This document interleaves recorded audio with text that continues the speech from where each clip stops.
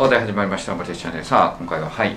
はい、アイドル失格の京香です。よろしくお願いします。ということでいやーどうもですね。結構多くの視聴者がまるで毎日会ってるかのよう 全然そんなことない。全然そんなこと、ね、一日一日撮影してるわけじゃないですからね。全部の動画そんなことやったら本当に毎日になっちゃいますから、はい、まあほぼ毎日出てますけどあれ一日で 大量に撮影しておりますので。あでもあれでしたね。YouTube やっぱちょっと下ネタ系はダメなんですね。へ再生され。れもう全然ダメ。ですあどあ。こ大丈夫。もう一個本当はあったのにね皆さん見てください。もう一個ちょっとあったのにそれもまあお蔵入りにしなきゃいけないのかなっていうのはね。あそうもう一本実はあったんですが。さあ今回いよいよ、まあ、一番リクエストが多かった早稲田の理工。あ。はい。一番難しいと言われる。こんな早めの段階でこんな大きいものを解いてしまっていいんですか？そうですね。まあ早稲田の理工実はいっぱいあるんであの質問大問いっぱいあるんで分ければたくさんできるんですが一番難しいのがですねいやもうパッと見文字数やばいんですけど。そう。これ見せちゃ大丈夫ですか、はい。これえ文字数やばくないですか？これ全部びっしり。そう。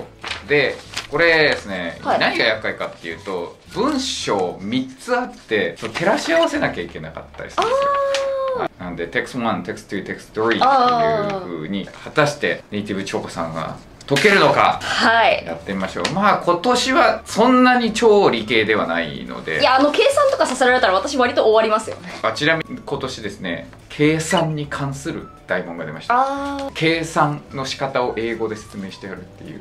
ーえー、小学生でもできるものなんですけどそれが英語で書かれてるので日本人たちはえってなるような問題も出てます。まあとりあえずじゃあできるのかやってみましょう、はい。どれぐらいのスピードでこれ解けるのか。あちなみにまあ90分の試験時間があるんですけど90分でも終わんない人が多いですね。えこのパート1に90分ですか？いや全部で。全部でもっともっとたくさんあるんですけどこのはいはいはい。パート1自体でいろんな英語の先生90分かかっちゃう。あこれだけで90分かかる人が割といる。はい、はいいるしそれでもさっぱりわからないみたいになることがよくある、はい。まあ、もちろん年によって全然違うんですけど難易度。とりあえずやってもらいましょう。どれぐらい解けるのか、では行きましょう。やります、はい。最初に質問見るの割と大事かもしれない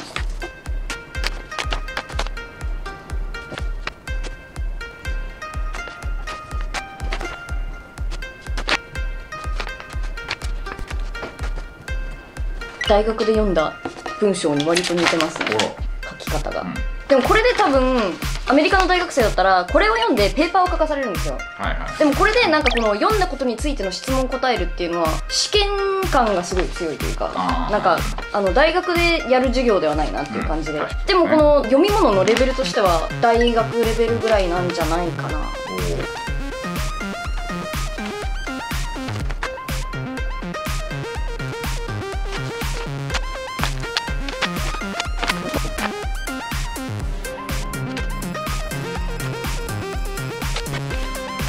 めっちゃ難しい言葉使ってません？大丈夫かなこれ？そう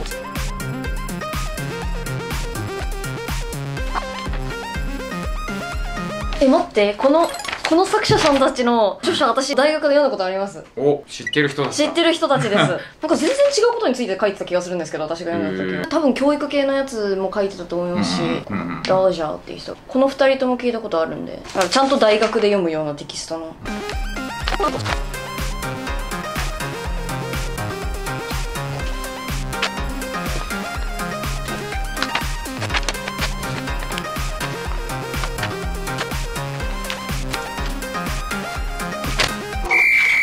わかりました。さあできました。はい。どう出すか。1年間のいろんなまあ入試問題があるわけです。一番難しいことが多いけど、はい。それぞれの大学が出しますから日本は。それぞれの大学学部が出して1年間の中で一番難しいってなることが多いのがここの早稲田理工ですが読んだ感想は？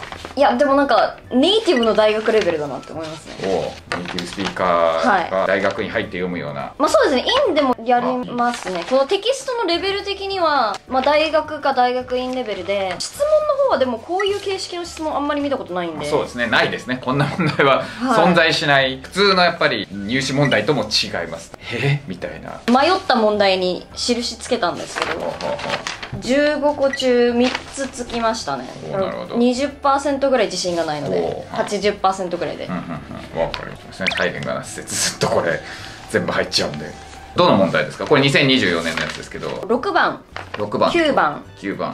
と15番。お6915が他のやつは割とそのテキストの中に書いてあるんですよ答えが、はいはいはい。この国語の問題チックな感じ、うんうんなんか読み取れとかまとめろっていう問題がやっぱりその、テキストの中に答えるがあるわけじゃないんで。なるほど。それが大変だったということですね、はい。では見ていきましょうか。チェックはい。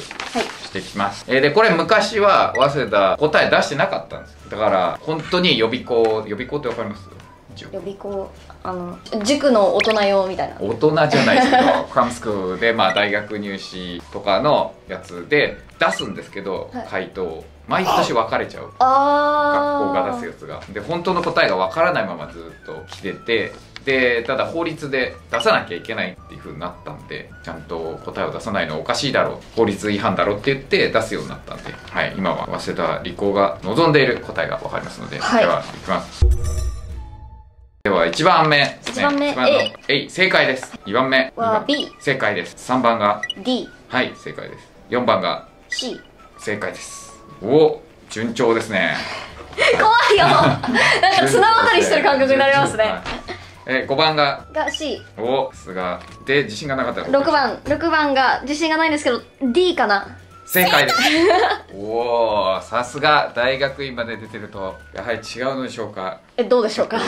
変わるのかわかんないですけど。はい。7番。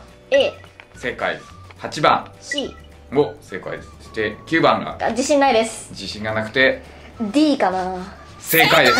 おおということでこれがこれはテキスト1のみですね。はい。テキスト1のみのものを全て正解しました。はい。これが書いてないんですよ。このはいはいはい。6が多分このこれについて知ってないと答えが出ないんじゃないかななるほど。6番っていうのが Which of the following may be included in computing resources as mentioned in paragraph 8 in paragraph 8のこのコンピューターに入るかもしれないというか名がついてるわけですね、はい。入るであろうものはどれですか？っていうやつででここにこあこれは出てないんですよ、はい。このふわっと書いてあって、はい。もう全部抽象的な話ばかりをしてて、はい。だから消去法でここに入ってるコンピューティング・リソースが,が入ってる文章が Protect Computing だから絶対にデータブリッジズはないんですよ。まあそうですね。守んなきゃいけないものなんで、データであのユーザーコンプライアンスが depend on user compliance って書いてあるんでこれじゃないだ。から C ではなくてだから A か D のどちらかなんですけど。コンプライアンスだからルール的なものですね。はい。だから depend on user compliance to protect computing resources だから、user compliance があってうん、別のものに対して言ってるので、C はなくて、ってなると A か D なんですけど、でもエンドユーザー computing resources ってなると、ユーザーではなく。ユーザーではなく D じゃないかなっていう。うん。なるほど。でもこれの話全く出てないんですよ。はい、書かれていないのに出さなきゃいけないというですね、はい、これが厄介なところです。ということで、はい、テクスト1クリアいたしました。はいじゃあ、テクスト2に行きます。は、これ楽しいですね。私、このテキスト好きです。この rational choice theory っていうのがなんか出てきたのが、どれもそうなんですけど、この人間の心理みたいなのを利用して、セキュリティをいい感じにする。日本語が出てこなかっでは、いきますね。10番、た。はい。C。C。はい、正解ですね。はい。次が11 11が。番が B。はい、正解です。で、12番が D。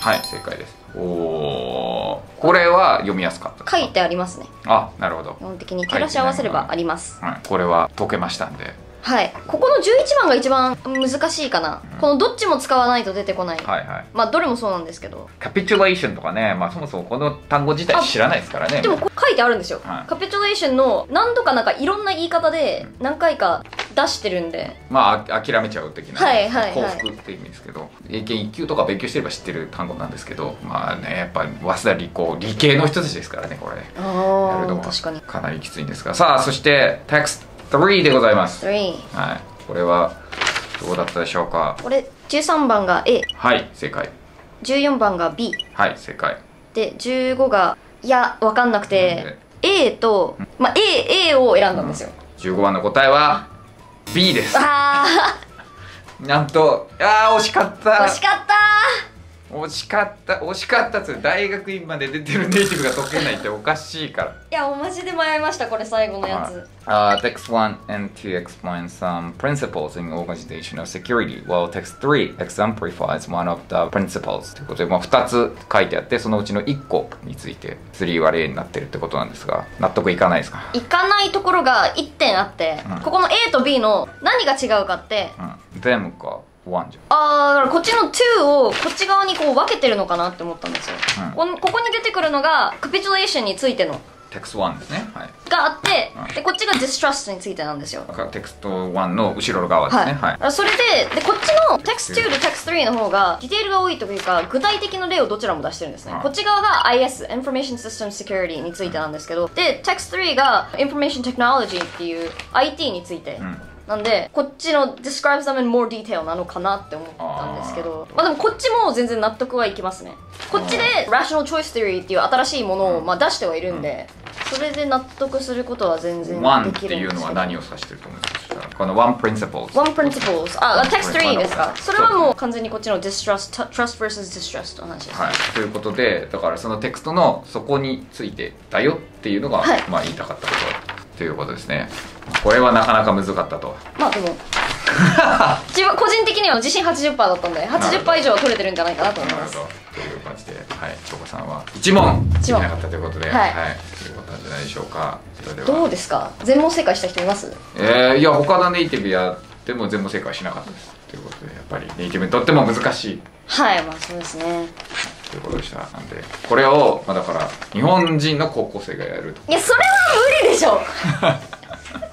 ということなんですよ。だって私大学院まで出てこれだからな。って考えるともう本当はこういうのを解くのに特化した授業とかを受けてないと無理なんじゃないかなってなるほど思いますね。ということでやはり普通に考えて無理。ということでございました。無理はい。これが分かっていただければと思いましょうね。